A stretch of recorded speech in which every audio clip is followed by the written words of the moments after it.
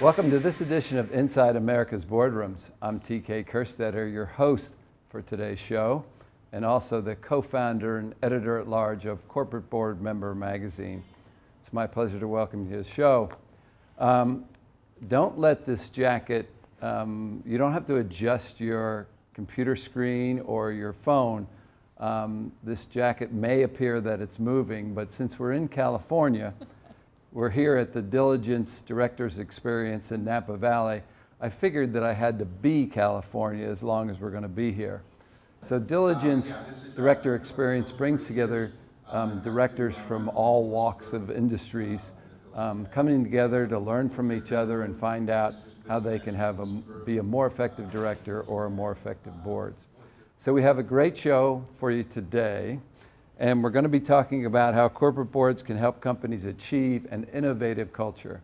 And I have the perfect guest today to talk about an innovative culture. Please welcome Claudia Fan Munce, who's a director with Best Buy and CoreLogic. Welcome, Claudia. Thank you, TK. So, your background includes a mountain of venture capital experience.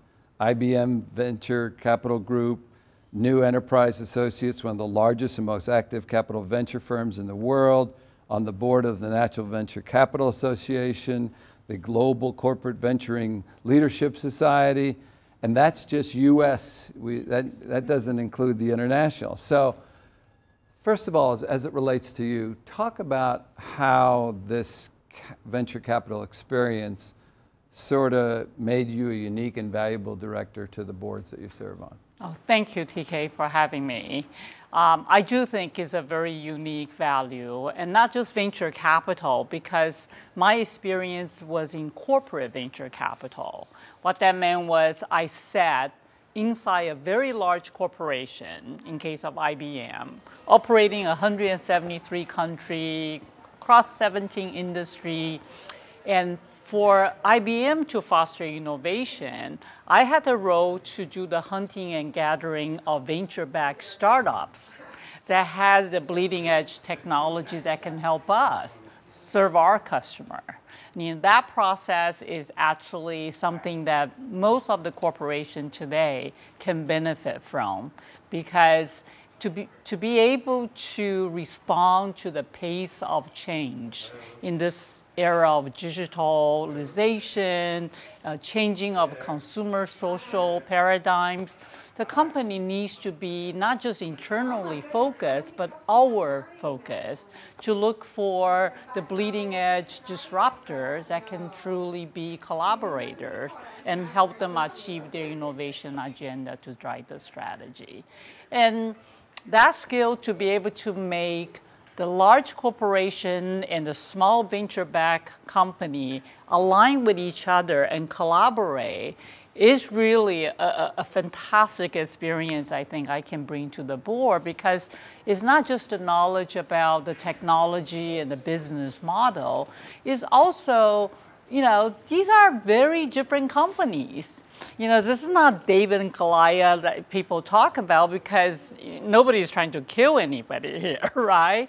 I mean, the, the best outcome is really truly a win-win outcome where the large corporation get to leverage the disruptors to deliver innovative solution and the disruptive startup get to leverage that incredible channel to market capability, the customer install base, so my role in my as a board member is truly to sit there and challenge and ask questions about the disruptions that are taking place in the venture community. A lot of time we're in a strategy discussion. I'm always the one that say, hey, have you seen the XYZ startup? And they're doing XYZ things that at the very least, we need to be aware of it. And at the best, we might even deploy through acquisition, partnership.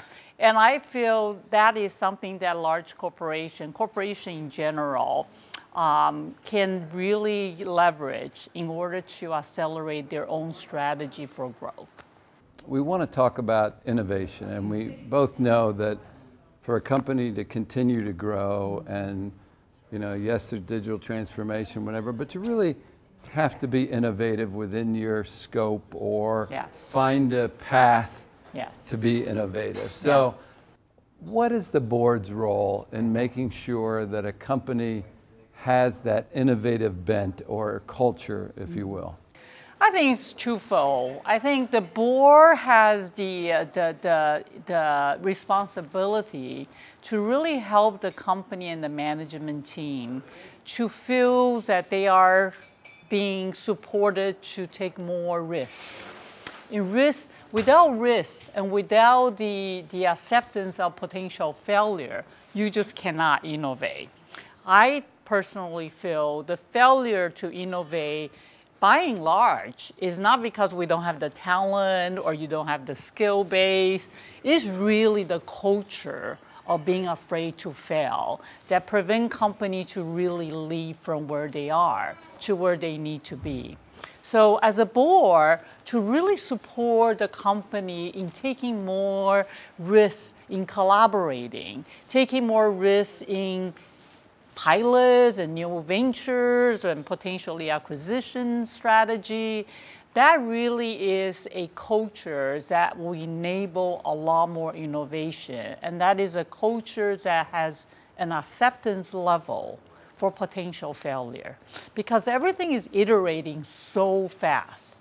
If you literally sit there and trying to define that strategy on paper without start doing something, that really gather the information from the market, from the customer to allow you to iterate to get to that right product market fit, chances are you're unable to get there. So I think the board to feel, you know, more encouraging to, for the company to take on more risks when they are thinking about their growth strategy, when they're thinking about their gaps, and their white spaces, when they're thinking about venture-backed startup, how can you not look at what was it last year, $87 billion invested? How can you not look at that level of capital being deployed to innovate and say, I don't really care. I don't need to know. I don't need to you know, synthesize what they're doing. I think the board has a unique role to allow that level of risk-taking attitude. Of course, you want to encapsulate whatever you're doing, so you're obviously not betting the, the house. But I think board has a unique position where you can encourage the management, ask the questions that will allow them to take more risk and allow them to leverage a more collaborative way to innovate.